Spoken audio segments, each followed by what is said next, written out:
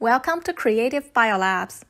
Since the release of the first publication on how to generate monoclonal antibodies back in the 1970s, this field of research has grown tremendously.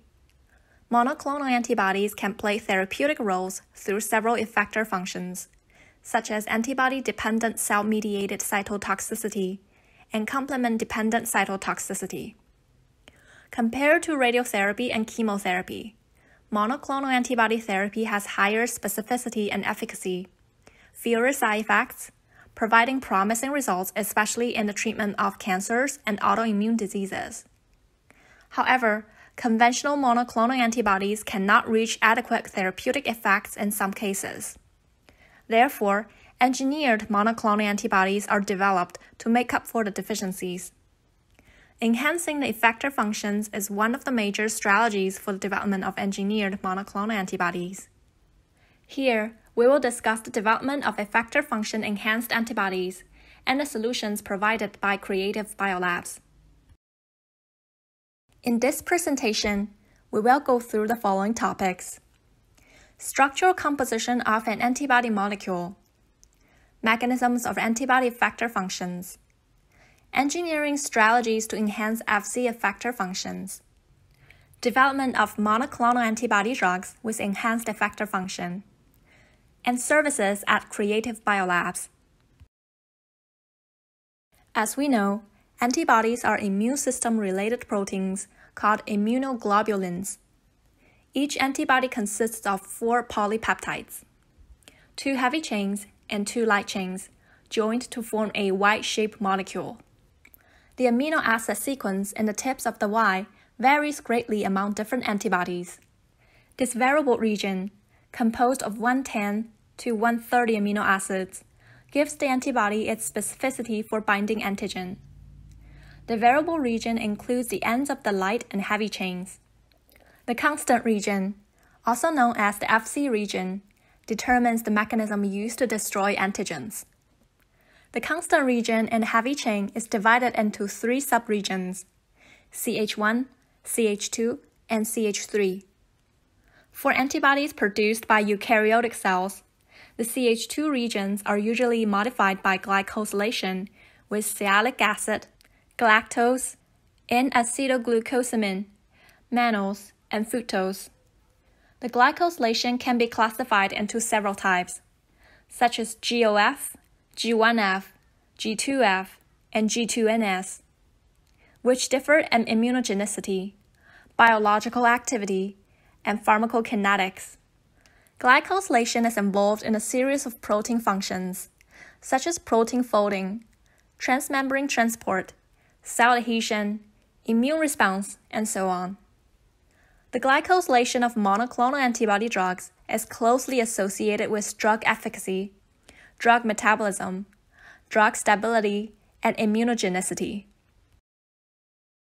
Antibody effector functions are the important part of the humoral immune response and form an essential link between innate and adaptive immunity. Most of these effector functions are induced via the Fc region of the antibody, which can interact with complement proteins and specialized Fc receptors.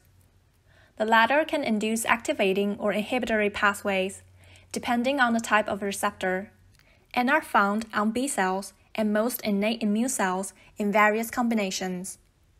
The most well known Fc mediated antibody effector functions are antibody dependent cell mediated cytotoxicity, also known as ADCC, antibody dependent cellular phagocytosis, ADCP, and complement dependent cytotoxicity, or CDC. ADCC is induced when Fc gamma receptors on innate effector cells are engaged by the antibody's Fc domain that is bound to viral proteins on the surface of virus infected cells. This interaction induces the release of cytotoxic granules, resulting in the killing of infected cells. ADCP is the uptake of antigen antibody complexes by phagocytic cells. Phagocytic cells, including monocytes, macrophages, neutrophils, eosinophils, and dendritic cells, express Fc gamma receptors, all of which can mediate immune complex uptake. ADCP results in the clearance of immune complexes from the infected host by the trafficking of the complexes to lysosomes for degradation, and antigen processing for presentation on MHC molecules on the cell surface. Besides ADCC and ADCP, antibodies can also induce complement activation. The complement cascade contributes to pathogen elimination either directly by means of CDC or indirectly through phagocytic clearance of complement-coded targets and the induction of an inflammatory response. Activation of the classical complement pathway results from binding of the recognition molecule C1q to the Fc domain of antibodies, leading to cleavage of C2 and C4. Together, the resulting cleavage products form the C3 convertase that cleaves C3 into C3a and C3b. The highly reactive C3b binds to target cells, leading to immune complex clearance and phagocytosis through complement receptors found on immune cells. The terminal complement components will assemble into the membrane attack complex, also known as MAC, resulting in the lysis of the infected cells. In addition to ADCC, ADCP, and CDC, Antibody molecules also participate in the processes of programmed cell death, also known as PCD, and antibody dependent cell mediated cytotoxicity, or CDCC. As most of the effector functions are induced via the Fc regions of the antibodies, Fc engineering has been considered as the most powerful way to enhance antibody effector functions and thus enhance their therapeutic efficacy. Firstly, glycoengineering is the important strategy for the development of monoclonal antibody drugs with enhanced Fc effector functions. For instance, a fucosylation, or the removal of fucose, results in higher ADCC activity, and galactosylation results in higher CDC activity. Introducing unique mutations in the Fc region is another widely used Fc engineering strategy researchers have found lots of amino acid sites in the Fc region to be mutated to enhance Fc effector functions. For example, mutation of serine at position 239 to aspartic acid will increase Fc gamma R3A binding and decrease Fc gamma R2B binding, resulting in enhancement of ADCC and ADCP. A mutation of lysine at position 326 to tryptophan will increase C1q binding, resulting in enhancement of CDC. Although both IgG1 and IgG3 can effectively activate complement, IgG3 antibodies can bind C1q more effectively. Therefore, cross-isotope antibodies have been generated by replacing the CH2 and CH3 domains of an IgG1 antibody with the corresponding regions of an IgG3 antibody, which increases the CDC response. High resolution crystallography studies have revealed that specific non covalent interactions between IgG Fc domains induce ordered hexamer formation on the cell surface that provides a docking platform for the 6 globular headed C1q molecule and thereby efficiently activating the complement pathway. Introducing the specific point mutations E345R and E430G at the Fc and CH2-CH3 interface can stimulate the Fc-Fc interactions between antibodies and facilitate the natural concept of antibody hexamerization, leading to superior C1q binding and enhanced CDC. In addition, Fc duplication or multiplication, by which multiple Fcs are linked within one IgG1 molecule, has been shown to augment Fc gamma R binding avidity and increase ADCC and ADCP. Although various strategies can enhance ADCC, ADCP, or CDC effector function, they do not uniformly increase these effector functions when applied to different antigens. Modulating the Fc tail to enhance ADCC ADCP can negatively influence CDC and vice versa it is recommended to evaluate Fc factor function enhancing strategies for each target individually. In the development of Fc engineered monoclonal antibody drugs with enhanced effector functions, multiple strategies should be comprehensively taken into account.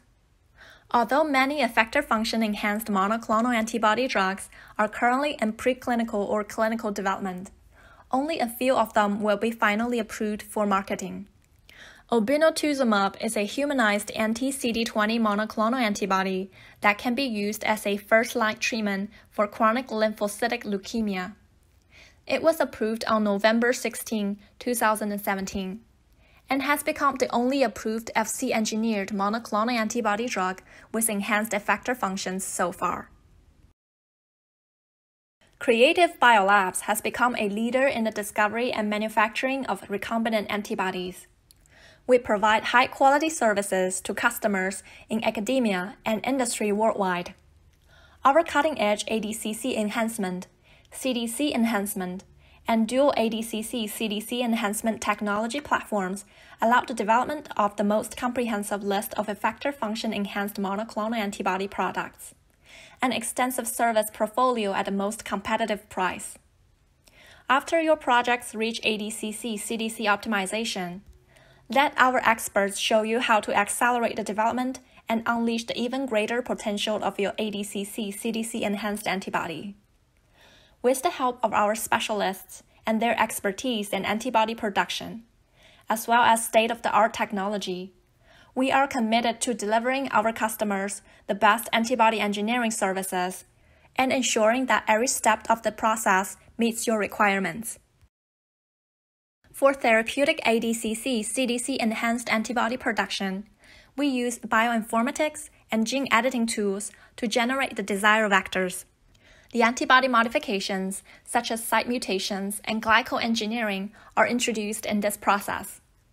After several rounds of clone selection and optimization, the antibody expression cell line will be constructed. We provide mammalian cell lines for the production of recombinant therapeutic proteins, which can produce a large number of products of consistent quality to meet current regulatory requirements. Like other biopharmaceuticals, therapeutic ADCC CDC enhanced antibodies also require extremely high purity and potency. Therefore, multiple characterization and purification processes will be conducted.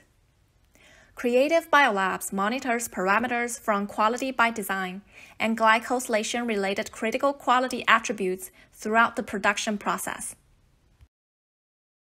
During the development of therapeutic antibodies, characterizing ADCC and ADC activity and determining its impact on clinical efficacy is critical.